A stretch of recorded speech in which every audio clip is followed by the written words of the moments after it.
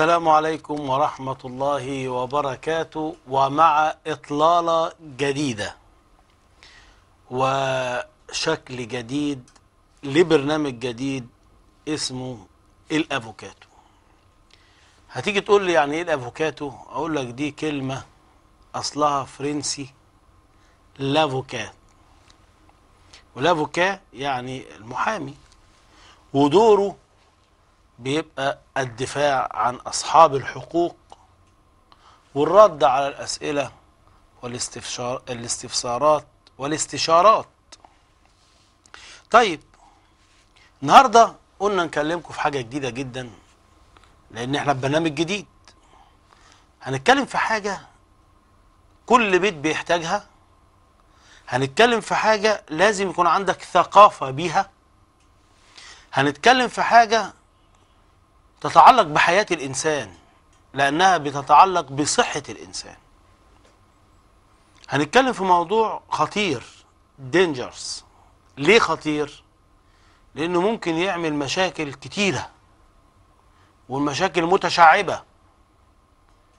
وخصوصا كل ما يتعلق بالأكل والشرب.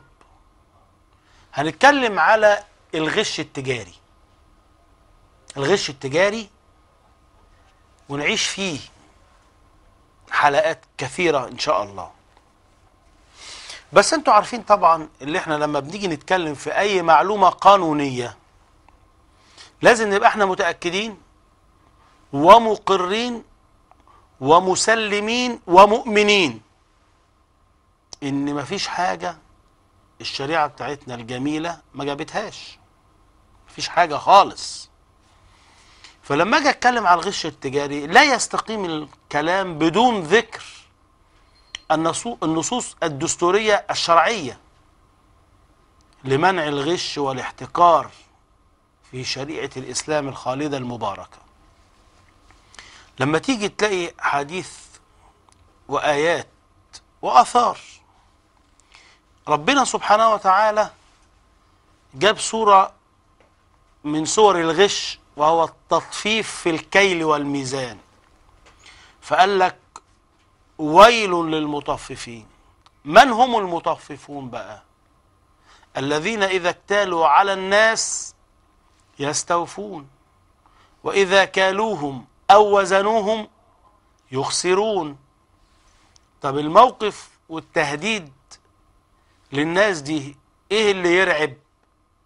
قال لك ألا يظن أولئك أنهم مبعوثون ليوم عظيم يوم يقوم الناس لرب العالمين.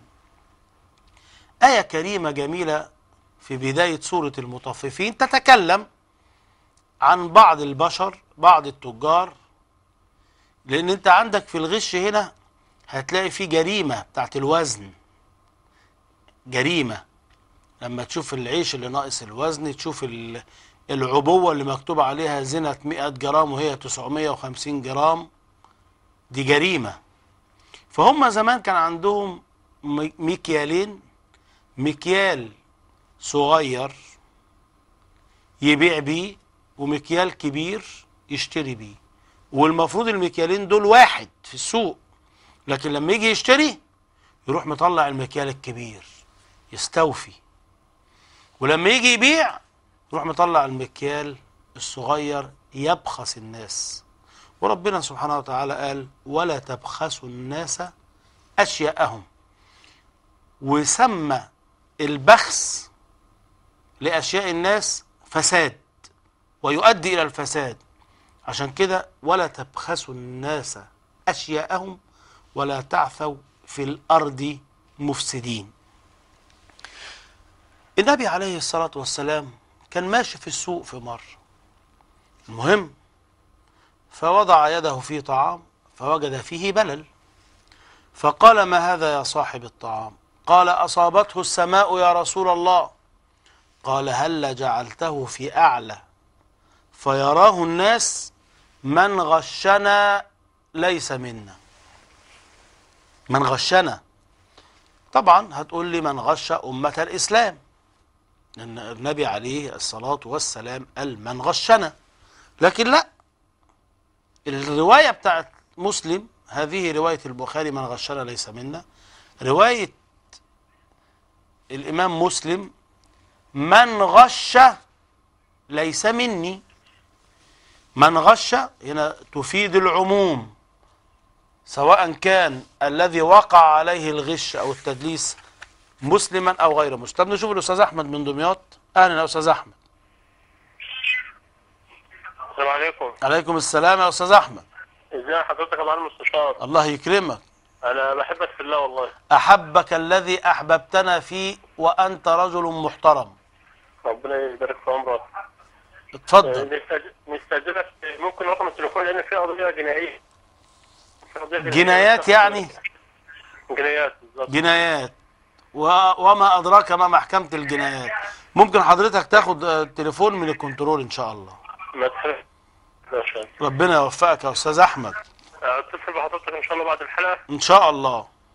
جزاك الله خير جزاك الله اتفضل يا فندم. بارك الله فيك. فالنبي عليه الصلاة والسلام بيقول لك من غش ليس مني. سواء كان بقى اللي غش يعني غش بقى واحد مسلم واحد غير مسلم لأن في استقرار في المعاملات في الدولة سواء كان المتعامل معاك أيا كان هو مين. لأن الشريعة جت للناس كلها سبحان الله. المهم حتى في فقه البيوع هتلاقي فيه خيار الرؤية وخيار المجلس وكل شيء ينطوي على غش يثبت لصاحبه الحق في الفسخ.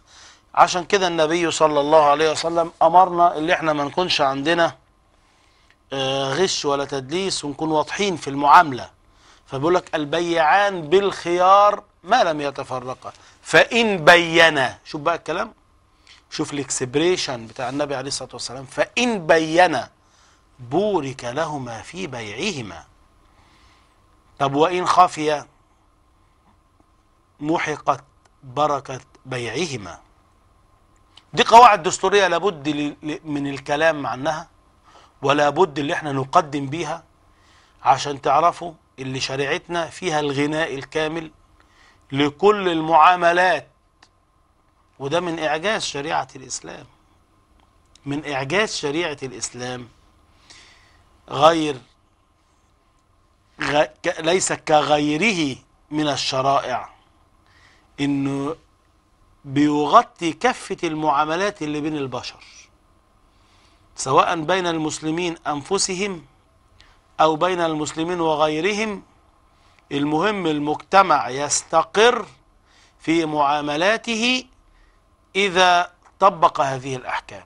عشان كده من الإعجاز التشريعي اللي مش هتلاقيه في أي شريعة تانية إن الدين بتاعك غطى كل حاجة.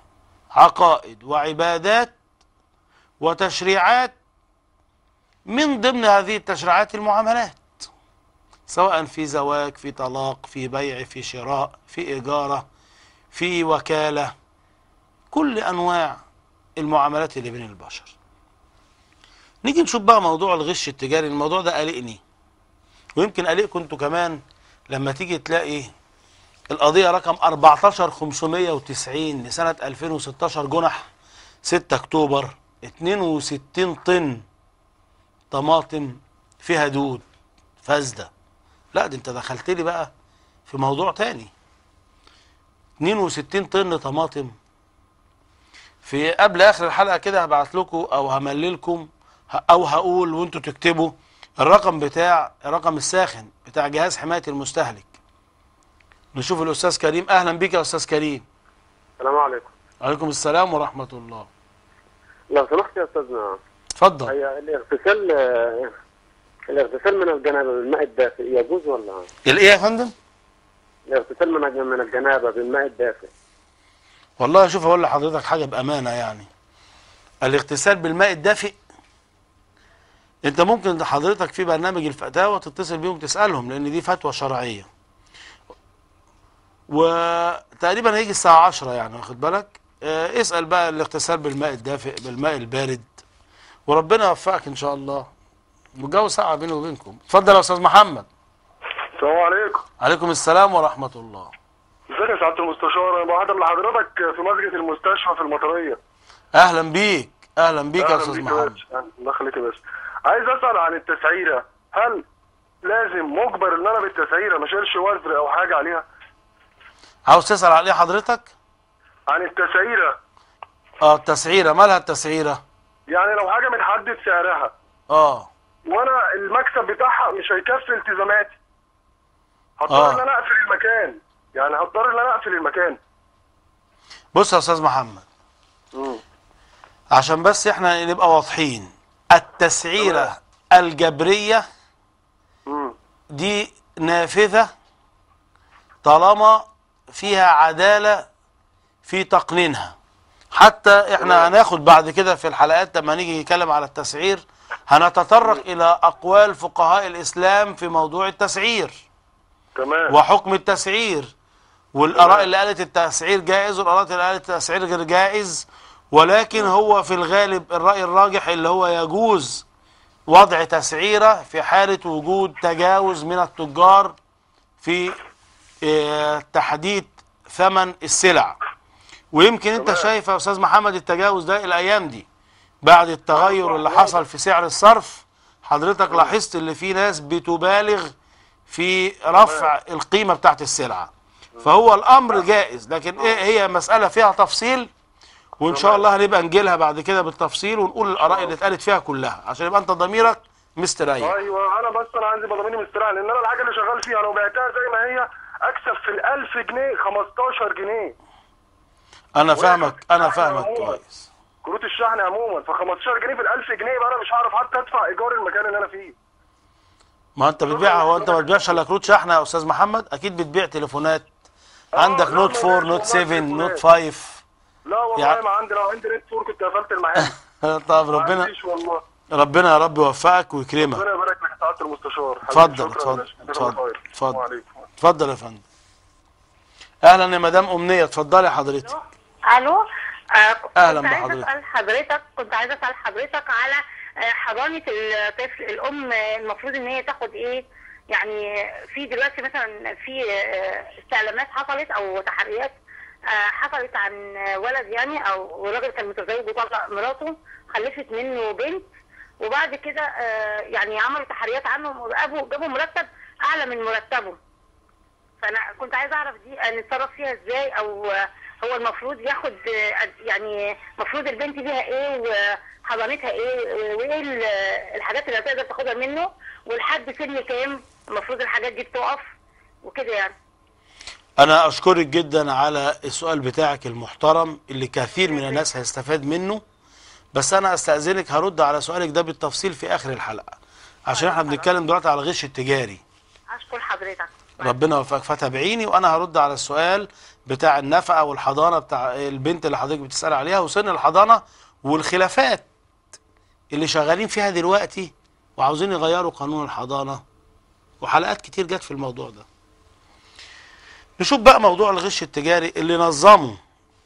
القانون 48 لسنة 41 والقانون 10 لسنة 66 وقانون التوحيد القياسي رقم 2 لسنة 57 ونشوف الموضوع ده إيه. جرائم الغش التجاري طبعا أنتوا عارفين بتضر بصحة الإنسان والحيوان. مش عاوز أقول لكم في مطاعم بتعمل لحم حمير وفي مطاعم مش عارف بتعمل فراخ ميتة والخلطة بقى بتمشي ده مع ده ومطاعم السوسيس والبرجر والأمور دي كلها والعك اللي بيحصل في الأمور دي فلازم تبقى أنتوا عارفين. بس أنا بصراحة بأمانة يعني كلمة حق من واقع المشاهدة والقضايا اللي قرأتها وشفتها بعناية. إحنا عندنا إدارة التموين والغش التجاري بمنتهى الأمانة. ناس يتقوا الله في كل عملهم. أو عشان أكون يعني في كل عملهم اللي أنا شفته. ما بيتهاونوش لما بيلاقوا مخالفة. وما بيتغاضوش عن أي مخالفة. بل بالعكس وصل الأمر. ورأيت هذا بعيني علم الله أن هناك شبهات حول عبوات بيعملوا بها قضية. وفي قضية اتعملت في المنصورة 19 طن جبنة تم تحريزهم علشان خاطر مكتوب على وجه واحد مش في الأربع أوجه بتوع العبوة نبات الدهن. المفروض يتكتب نبات الدهن. طب يا جماعة ما أنتوا قلتوا المواصفة القياسية مكتوب فيها أن تكتب على العبوة نبات الدهن لأن في جبنة معمولة بدهن نباتي وفي جبنة معمولة من دهن حيواني. يعني الجبنة البراميلي غير الجبنة اللي معمولة بدهن نباتي. دي داخل فيها لبن ودي داخل فيها لبن ولكن في دهن نباتي وفي دهن حيواني. فلما انت تكتب لي نبات الدهن على احد الاوجه فقط دون باقي الاوجه تخيل دي بالنسبة لهم كانت جريمة وحرزوا 19 طن جبنة مع انها صالحة للاستهلاك الادامي والمواصفة القياسية ما قالتش يتكتب على كل وجه قالت على أن تكتب على العبوة نبات الدهن ومكتوب على العبوة. يقول لك لا لازم تكتبها ظاهرة عشان في جريمة اسمها غش وخداع المستهلك. تكتب حاجة بت- بت- صغيرة كده المستهلك يجي يشتريها وما يعرفش دي نبات الدهن ولا لا ما انت كاتبها صغيرة في الجنب. شفت وصل قد إيه؟ إدارة الغش التجاري؟ عشان تبقى أنتوا عارفين. في عندنا حاجة اسمها الرقابة العامة على الصادرات والواردات السلع المستوردة من بره. بيفرزوها فرز بيطري ونووي وإشعاعي وبكتيرو بكتيرولوجي. يعني خد بالك البكتيريا والأمور اللي فيها يع- يعني بتتفحص من جميع النواحي. شاي إحنا هنتكلم في غش الشاي ده وموضوع الشاي ده. هنعمل لكم حلقة محترمة عن الشاي ومعلومات عن الشاي وأفضل شاي في العالم الدارجيلينج. ما حدش يسمع عنه طبعا. ده تاخد شفطة بس من كوباية شاي كده تلاقي دماغ دي بتلف. الدارجيلينج بيتزرع على قمة الهيمالايا. بس خلينا في وقتنا وفي وقتها نبقى نشرح لكم الشاي بيتعمل إزاي ويعني إيه كلمة توليفة وإيه أنواع الغش اللي ممكن آه، تدخل في الشاي. الناس فاهمة ان الغش في الشاي ده ممكن نحط آه، آه، رمادة حديد ونحط نشارة خشب. لا لا لا لا لا. الكلام ده كلام مستبعد خالص. هنقول لكم الطرق ساعتها إيه.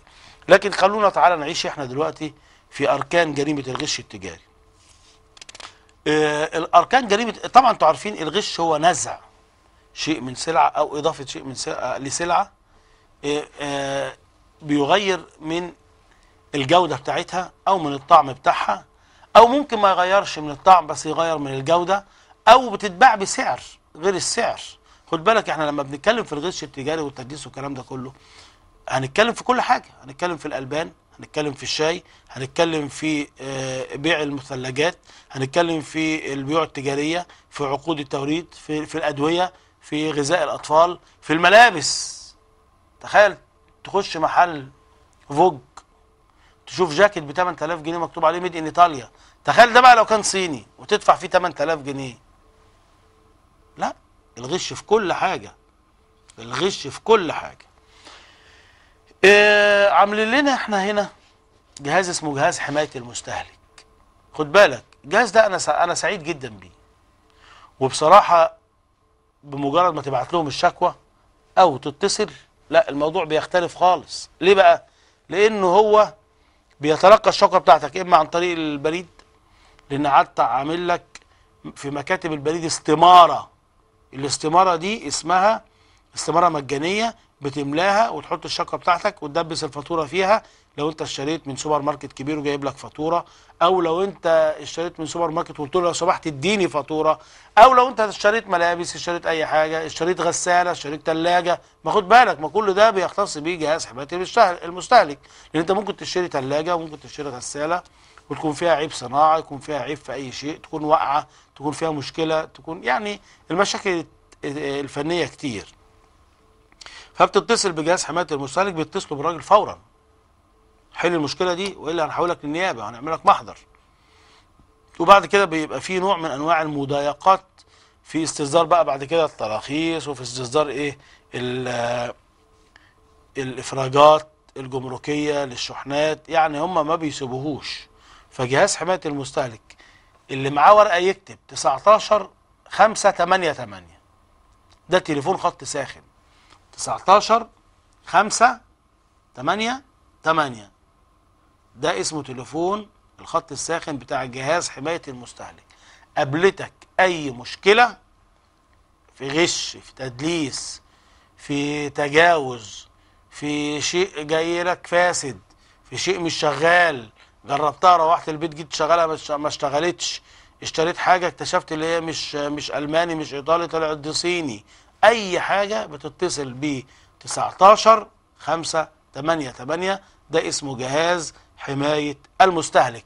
أو اللي ساكن جنب مكاتب البريد أو في طريق في طريق الشغل بتاعه مكتب من مكاتب البريد ممكن يروح يملى استمارة ويرفق فيها الفاتورة ويبعتها لجهاز حماية المستهلك اللي مقره 96 شارع أحمد عرابي في المهندسين. وزي ما بقول لكم الناس دي ناس ما بتلعبش مباحث التمويل ما بتلعبش الإدارة العامة للغش التجاري والجهات المنوط بيها في وزارة التموين ووزارة التجارة الداخلية كل الكلام ده ناس بتشتغل شغل قوي جدا بينزلوا يعملوا تفتيشات جامدة جدا بيعملوا حملات صعبة جدا بيعرضوا نفسهم لمخاطر كتيرة علشان خاطر صحتك وصحتي. وفعلا بجد أنا بقول لك كل القضايا اللي قريتها ما لقيتش فيها أي نوع من أنواع التجاوزات أو المجاملات لحد. بدليل ال 26 طن اللي قايل لكم عليهم. دي بتاع شركة عالمية شركة, شركة كبيرة. اتفضل يا أستاذ محمد. السلام عليكم. عليكم السلام ورحمة الله. لو سمحت كنت عايز أسأل حضرتك مسألة الثاني على الأراضي الزراعية. عاوز تسأل لي إيه؟ آه، واتعاملنا طبعا مباني مباني. نعم مباني في أرض زراعية. يعني واحد عمل مباني على أرض زراعية. نعم. واحد بنى يعني على أرض زراعية؟ نعم نعم حضرتك. تمام. واتعمل له طبعا قضايا و- واخد براءة في مباني بدون ترخيص. اتعمل له جنحة ولا جنحتين ولا ثلاثة؟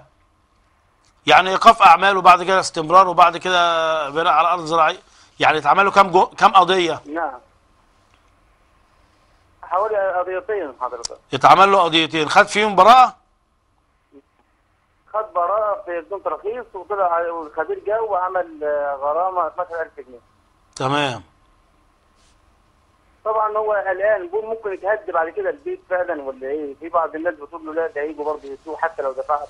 ولو عملت أي حاجة ما فيش يعني أنت دلوقتي. البناء طبعاً بدون ترخيص خد فيه براءة. نعم. طب القضية التانية اسمها إيه؟ الثانية اللي للخبير اسمها إيه؟ قضية إيه؟ مش عارف والله أنا ما عنديش خلفية حضرتك. تبوير اراضي أرض زراعية؟ أيوه هو باني على أرض زراعية. كده مخالف حضرتك. شوف بص أقول لك حاجة.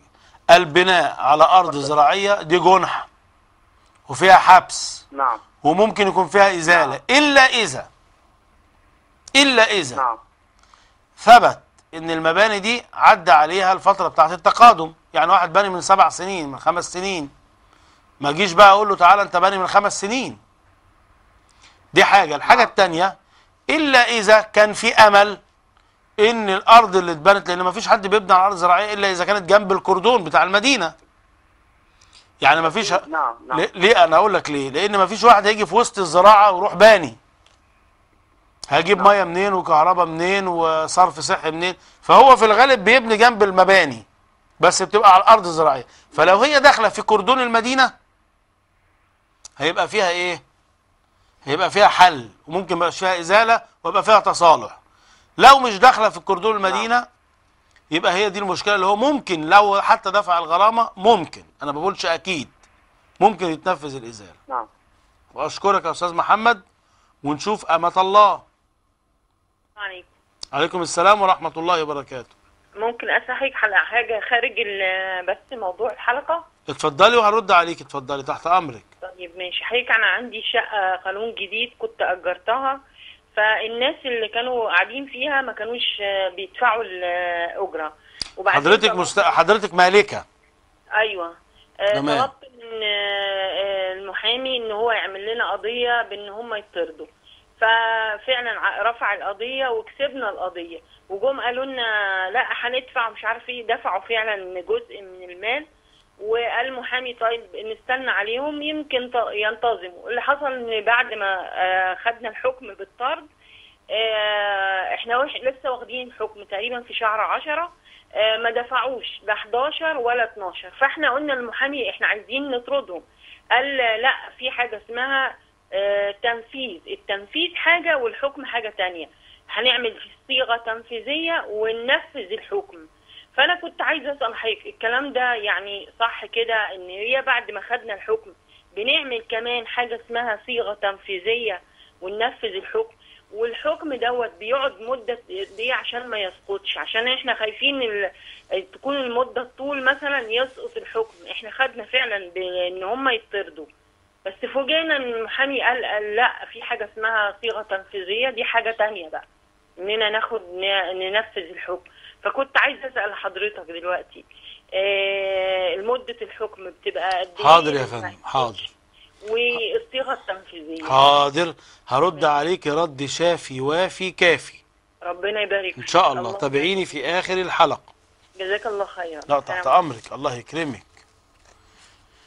اتكلمنا على قانون 48 لسنة 41 والقانون بتاع قمع التدليس والغش بقى رقم 281 سنه 94 خد بالك القانون 281 لسنة 94 القانون ده جاب حاجة حلوة قوي قال لك إيه؟ قال لك يا سيدي المفترض إن أي حد بيبيع أي حاجة يعلم بمحتواها.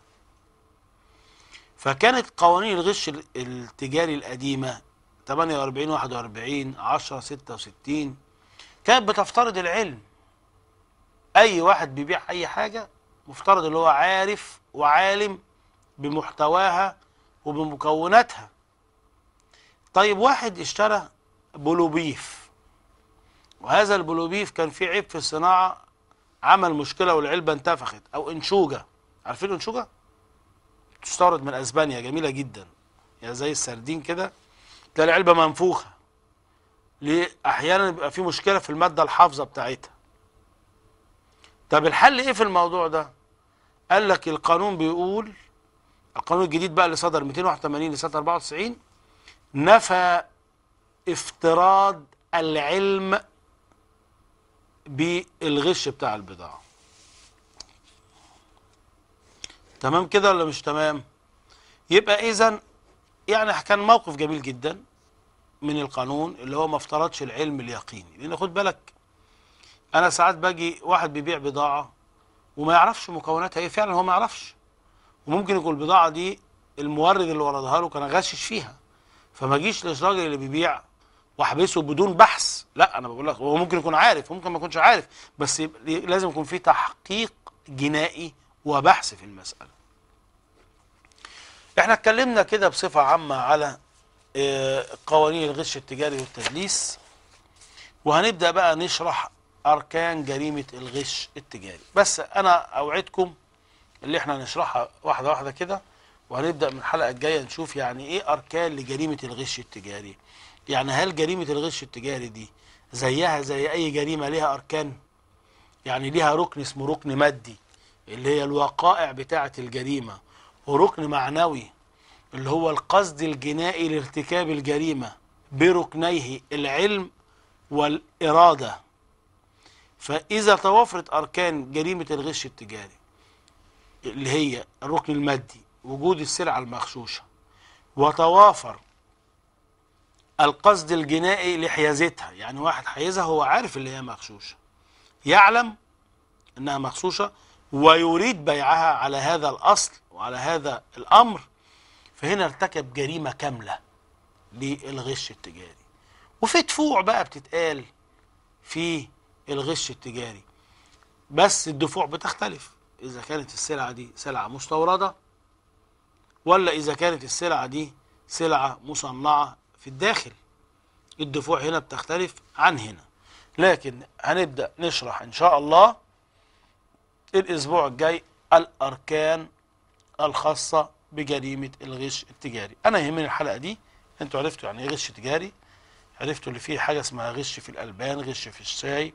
غش في الملابس غش في آه، اللبن الأطفال غش في الأدوية غش في كل المنتجات اللي أنت بتتداولها. هنتكلم على كل حاجة من الحاجات دي بالتفصيل فيما بعد لكن من الحلقة الجاية هنبدا نتكلم على الأركان العامة لجريمة الغش التجاري. أنا بصراحة عندي سؤالين عاوز أديهم وقتهم في الشرح. السؤالين دول مهمين جدا. السؤال الأولاني بتاع مدام أمنية اللي بتتكلم على سن الحضانة. هي بتقول لك الراجل عامل أو الأب بتاع الطفل المحضون عامل حاجة اسمها مرتب لكن المرتب اللي هو مقدمه هناك تحريات بتقول اللي هو مرتبه أكتر من كده أو دخله أكتر من المرتب اللي مقدمه. سيتم الاعتماد على التحريات قولا واحدا قولا واحدا لأن التحريات بتيجي بعد سؤال وطالما أكتر المحاكم وما جرى به العمل في المحاكم مصلحة الصغير. وأنا بصراحة ببقى حزين جدا لما بشوف أب بيمتنع عن الإنفاق على صغاره. ليه؟ يكفيه الذنب ده يقابل بيه ربنا سبحانه وتعالى. مش محتاج ذنوب تانية. كما قال النبي صلى الله عليه وسلم وكفى بالمرء إثما أن يضيع من يعول وفي رواية أن يضيع من يقوت.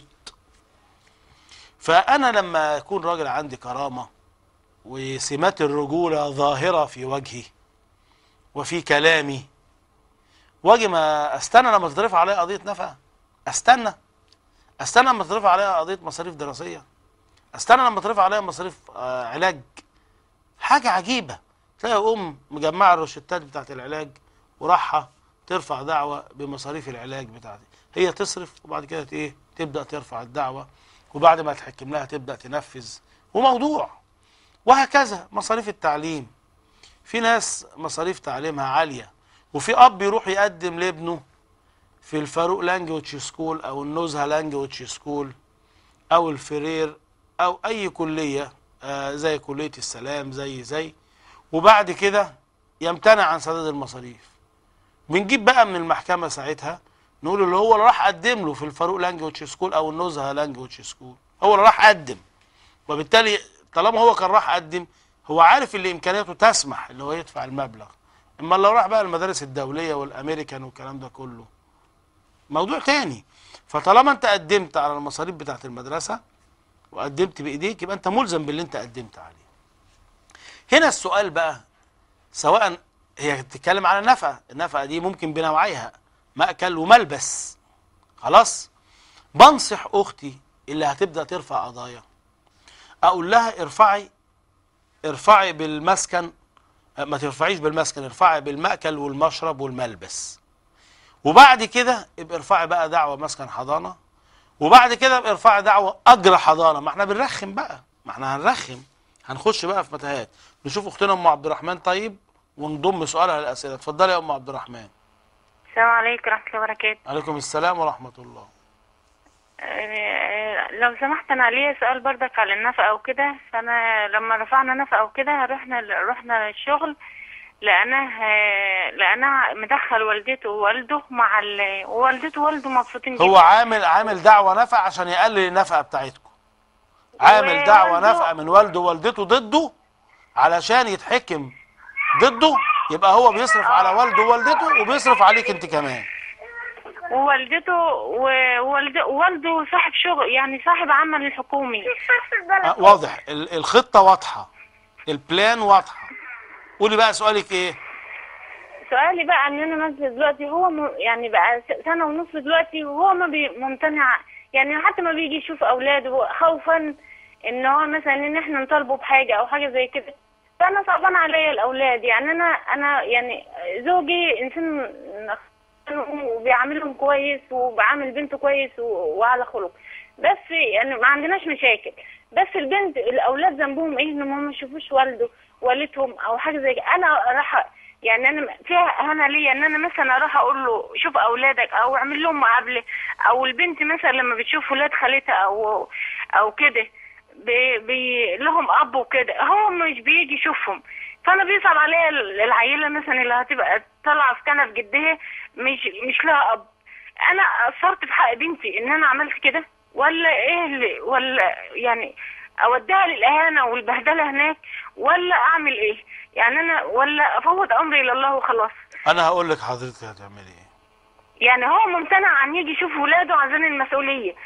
طبعا. هو لو جه هيشوفهم هيجيب لهم كيس فاكهة هيجيب لهم لبس هيجيب لا والله. أنا مش عاوزة أجيب فاكهة ولا عاوزة حاجة. أنا عاوزة قلب يعني زوجي مي- ربنا يفتح عليه. أنا مش محتاج. هو مي- بس هو مثلا إيه المعنوي الم... ال- يعني ال... ال... الأب كمان يعني لا, لا بيصرف ولا بيجي معنويا يوري البنت اللي لها أب وكده.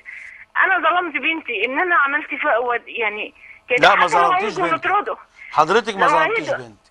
لو هيجوا هنطرده دي يخلم مسؤوليته؟ لا أنا هقول لك هتعملي إيه. أعمل إيه؟ يعني مثلا إيه؟ حضرتك مثلا آه، آه، لو قلت للناس يجوا يقولوا له مثلا تعالى شوف أولادك أو حاجة زي كده عايزين هو خايف مننا.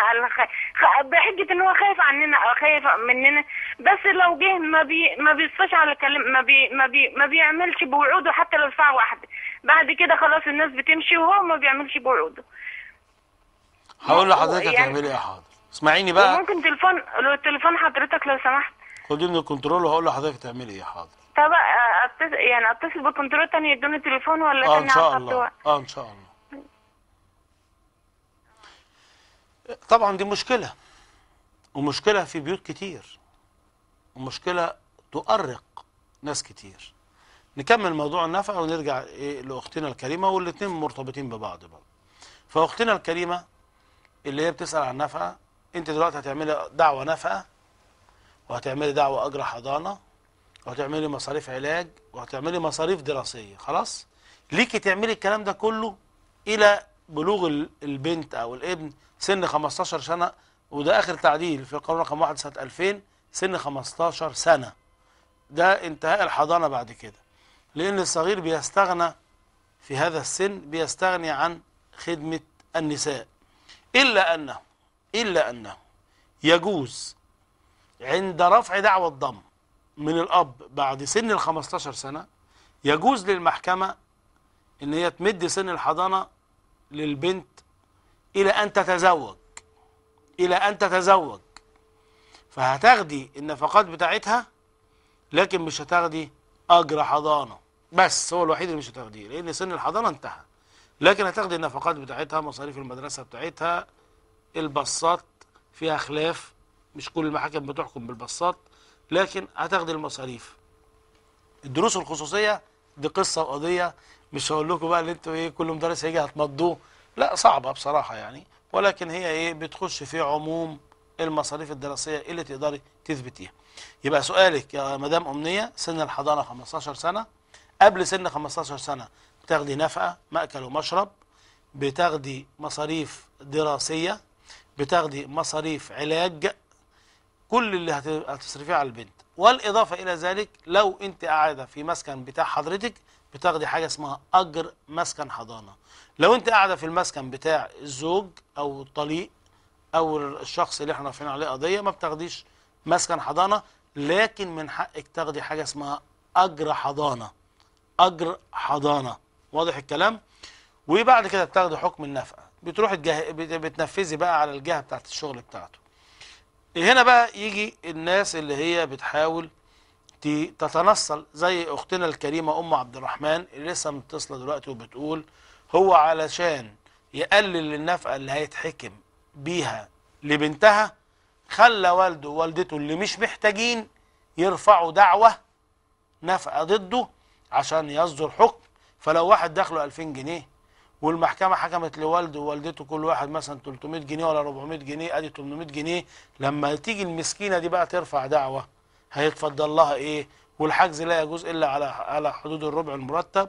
لكن إحنا بنعمل قدام المحكمة دعوة زيادة نفقة لو كانت حكم فيها أو لو ما كانتش اتحكم فيها نقول للمحكمة لا ده الدعوة بتاعت نفقة الأب والأم. دي دعوة كيدية ونحاول نطلب تحريات نثبت مدى يسر الأب والأم. انت غلطتي ولا ما غلطتيش؟ انت ما غلطتيش. انت طالبت بحقك. ولما تطلبي بحقك وهو يروح رميكي مش هتعيشي طول عمرك عشان تربي بنتك. رحتي اتجوزتي وجوزك بيعامل بنتك كويسة فتحمدي ربنا سبحانه وتعالى. لكن الأمر المعنوي اللي انت بتتكلمي فيه ده أمر محزن. الحاجات الروحية والمعنوية دي دي مش بإيدك.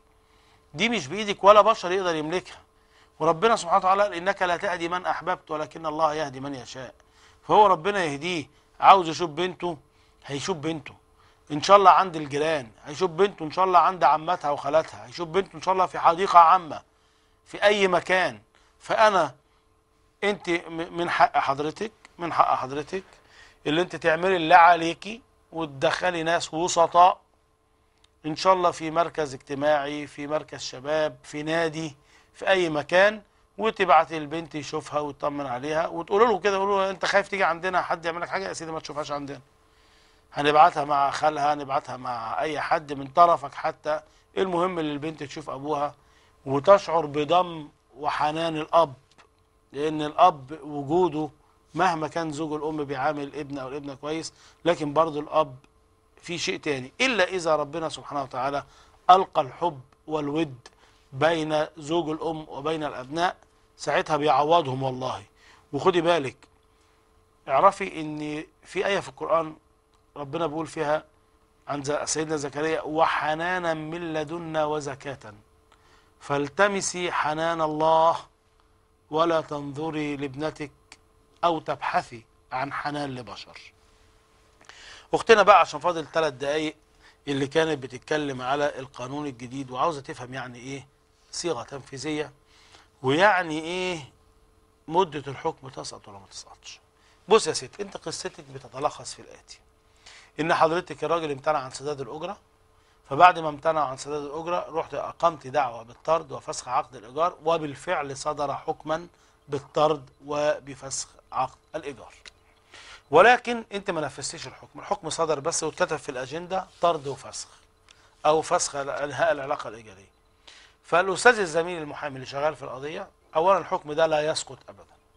حضرتك الحكم مش هيسقط. بعد سنة سنتين ثلاثة ممكن تنفذيه تنفذيه في أي وقت. بس هو الزميل بيقول لك إيه؟ لازم نجيب الصيغة التنفيذية. إيه هي كلمة الصيغة التنفيذية؟ الحكم لما بيطلع بيتكتب على الكمبيوتر. القاضي بيكتبه بقلم رصاص. فلما بيتكتب على الكمبيوتر إيه؟ بت- بتستلمي صورة رسمية من الحكم ده. وبعمل إعلان للشخص. اللي هو صدر ضده الحكم بعمل له إعلان. لو الحكم غيابي لأن واضح إن هم ما حضروش. فبعد ما تعمل له إعلان ب 40 يوم بنجيب شهادة بعدم حصول استئناف. خلاص؟ باخد الشهادة بعدم حصول استئناف. اللي هو ما عملش استئناف خلال 40 يوم من الإعلان. وباخد إعلان الحكم اللي أنا استلمته بعد ما كتب على الكمبيوتر وأسلم الاثنين دول. عند سكرتير الجلسه يروح مديني حاجة اسمها الصيغة التنفيذية. هو هو الحكم. هو هو. هو هو الحكم اللي طلع. بس بيختم على ظهره كده ختم مكتوب فيها الصيغة التنفيذية على الجهة التي يناط بها التنفيذ أن تبادر به فورا ولو باستخدام القوة. وإن ما فيش حد يمنع تنفيذ الحكم. دي اسمها الصيغة التنفيذية. الراجل بياخدها بيعمل بها إعلان للمحضرين وبعد ما بيعمل إعلان بيسلمها رئيس المحكمة بيحدد يوم للتنفيذ. تقرر التنفيذ يوم كذا. بياخد المحضر وبيروح طالع على الاسم بالحكم اللي هو صدر بس عليه الختم بتاع الصيغة التنفيذية. وبيروح طالع على المحضرين والاسم الشرطة ياخد عسكري وينزل اتفضلوا يا جماعة اطلعوا بره ما رضوش يطلعوا بره هيجيبوا قوة من الاسم هينزلوا حاجة وينفذوا الحكم. الشخص بقى ممكن يعمل استئناف يترفض. ولو الحالة بتاعت حضرتك دي اتعمل فيها استئناف هيترفض. خدي بالك. القانون الجديد رقم 4 سنه 96 البند الفاسخ فيه واضح. ليس كقانون إيجار الأماكن اللي يجوز للمستأجر أن يتوقع الطرد بعرضه للأجرة والمصاريف الفعلية والنفقات قبل قفل باب المرافعة أمام محكمة الاستئناف. كما جاء في أحكام كثيرة وده في القانون 49 لسنة 77 المعدل بالقانون 136 لسنة 81 نص المادة 18 لكن إحنا بنقول لا القانون الجديد غير القانون القديم خالص. القانون الجديد حتى لو دفع الأجرة بيطرد طالما ثبت إن هو امتنع عن سداد الأجرة وثبت إن تأخر عن سداد الأجرة. هيطرد هيطرد. حتى لو دفع أجرة 20 سنة مؤدب برضه هيطرد. فأنت حضرتك الاستاذ الزميل هيروح يستلم الصيغة التنفيذية هو هو الحكم اللي صدر بس عليه ختم الصيغة التنفيذية بعد الإجراءات القانونية اللي أنا قلتها لحضرتك. وهتنفذي بسهولة جدا بس هو ممكن يعمل إشكال ممكن يأخر شوية التنفيذ لكن في الآخر هتنفذي إن شاء الله هتنفذي. طيب إحنا الوقت بيداهمنا بس بصراحة يعني موضوع الغش التجاري ده موضوع جميل. وهنحكي فيه شوية قضايا حلوة وبصراحة بقى هنعيش فيه. فأنا إن شاء الله نعيشنا وكلنا عمر نلتقي المرة الجاية مع الأركان بتاع جريمة الغش التجاري. ما وعدكمش هنخش بقى في غش الألبان في غش الشاي في غش لا ما وعدكمش إمتى؟ لأن دي مفاجأة. هديكوا شوية معلومات عن الشاي. هخليكوا وانتوا بتشربوا الشاي كده تعرفوا يعني إيه كلمة توليفة. وأقول لكم الخبير العالمي بتاع الشاي كان بي- بيعمل testing إزاي. لا ده موضوع كبير قوي أشوفكم إن شاء الله يوم الثلاث الجاي. دمتم في أمان الله. والسلام عليكم ورحمة الله وبركاته. ah, ah, ah, ah. ah, ah.